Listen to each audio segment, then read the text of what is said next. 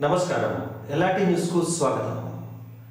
శివకేశవులకు నెలవైన వేములవాడ శ్రీ రాజరాజేశ్వర స్వామి వారి క్షేత్రంలో గురువారం రోజున శ్రీరామనవమి పర్వదిన సందర్భంగా నిర్వహించనున్న శ్రీ సీతారాముల కళ్యాణోత్సవానికి అన్ని ఏర్పాట్లు పూర్తి చేసినట్లు ఆలయ ఈవో కృష్ణప్రసాద్ తెలిపారు. ఆలయ పరిసరాల్లో ఏర్పాటు చేసిన ప్రధాన వేదికపై శ్రీ సీతారామచంద్ర స్వామి వారులను కూర్చోబెట్టి వారికి కళ్యాణాన్ని జరపనున్న సందర్భంగా విచ్చేసే భక్తుల సౌకర్యార్థం ఎల్ఈడి తెరలను కూడా ఏర్పాటు చేశారు. కాగా భారీగా తరలిరానున్న భక్తుల కోసం అన్ని రకాల ఏర్పాట్లు పూర్తి చేయడంతో పాటు చలువ పందిళ్ళు మంచినీటి సౌకర్యంతో పాటు బందోబస్తు ఏర్పాట్లను కూడా పోలీస్ శాఖ ఆధ్వర్యంలో పర్యవేక్షిస్తున్నారు. దాదాపు లక్షకు పైగా భక్తులు రానున్న దృష్ట్యా వారి కోసం సకల ఏర్పాట్లను పూర్తి చేసి సిద్ధంగా ఉంచారు.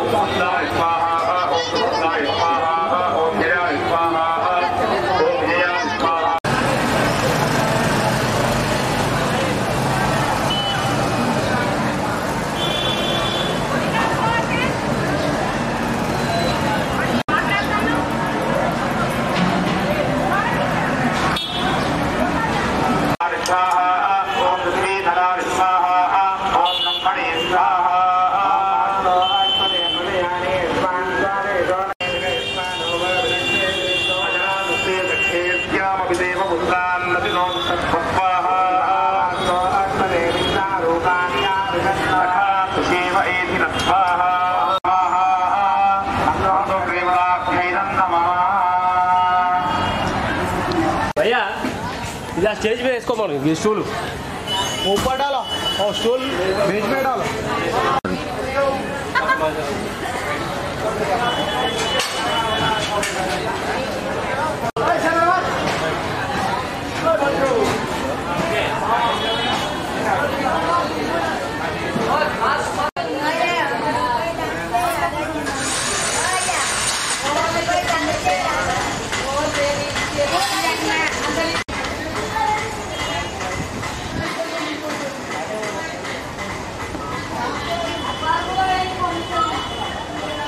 Merhaba.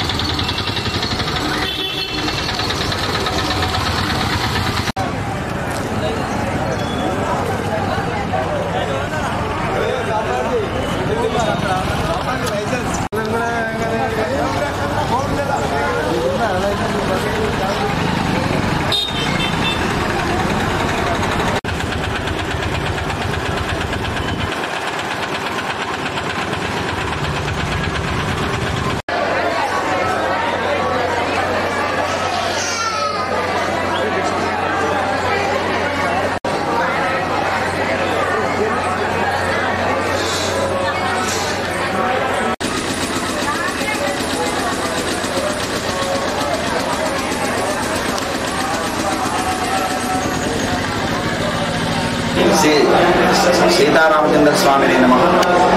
అనాదిగా దక్షిణ కాశీ అనే ప్రసిద్ధి చెందినటువంటి వేములవాడ రాజరాజేశ్వర స్వామి వారి యొక్క క్షేత్రంలో వసంత నవరాత్ర ఉత్సవాలు జరుగుతున్నాయి ఉత్సవాల్లో భాగంగా చివరి మూడు రోజులైనటువంటి నిన్నటి నుంచి ఆరంభించినటువంటి ఈ మూడు రోజులు యాగశాల ప్రవేశం మండప ఆహ్వానము ప్రతిష్ట దేవతా హోమాలు అర్చనలు అన్ని కూడా జరుగుతున్నాయి.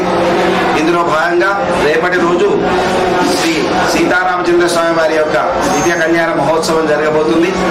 స్వామివారి యొక్క కళ్యాణ మహోత్సవాన్ని పురస్కరించుకొని రేపటి రోజు ఉదయము తొమ్మిది గంటలకు స్వామివారి ఆలయంలో ఉండేటువంటి మూలమూర్తులకు వివాహోత్సవం జరుగుతుంది తిరిగి భక్తోత్సవాన్ని స్వామివారి యొక్క ప్రత్యేకమైనటువంటి వేదికపై భక్తోత్సవంగా శ్రీ అభిజిత్ ముహూర్తంలో శ్రీ సీతారామచంద్ర స్వామి వారి యొక్క దివ్య కొన్ని వేల నుంచి ఒక క్షేత్రం జరుగుతుంది. ఎందుకంటే ఈ క్షేత్రం హరిహర క్షేత్రం కాబట్టి హరిహర ప్రతీకంగా రామ కళ్యాణ మహోత్సవం ఇంత దివ్యంగా జరగడం అనేది ఈ క్షేత్రంలో మాత్రమే జరుగుతుంది. అటువంటిది ఈ క్షేత్రంలో జరిగేటువంటి ఉత్సవానికి లక్షలాది మంది భక్తులు కూడా స్వామివారి యొక్క కళ్యాణ మహోత్సవంలో పాల్గొంటారు. స్వామివారి కళ్యాణోత్సవ అనంతరం యాగశాలలో పూర్ణాహుతి కార్యక్రమం ఉంటుంది పూర్ణాహుతి అనంతరము ఆ సాయంకాల వేళ నాలుగు గంటలకు స్వామివారులను రథోత్సవ కార్యక్రమం ఉంటుంది. ఇటువంటి రథోత్సవంలో అటు లక్ష్మీ అనంతపద్మన స్వామివారులు పార్వతి రాజరాజేశ్వర స్వామివారులు శ్రీ సీతారామచంద్ర స్వామివారిని రథోత్సవంలో అటువంటి సేవా కార్యక్రమాన్ని మాడవీధిలో కూడా ఊరేగించడం జరుగుతుంది. అలాగే స్వామివారి రథోత్సవ అనంతరము స్వామివారి యొక్క ఆలయంలో ఉత్సవం జరిపి ఈ యొక్క నవరాత్రి ఉత్సవాలు ముగించడం జరుగుతుంది. కాబట్టి ఇట్టి ఉత్సవాల్లో ఎవరైతే పాల్గొంటారో ఎవరైతే స్వామివారిని దర్శిస్తారో ఆ సీతారామచంద్ర స్వామి వారి యొక్క కృపకు పాల్గొ పాత్రులై సమస్త కోరికలన్నీ కూడా తీరి సమస్త బాధలన్నీ కూడా తొలగిపోతాయి.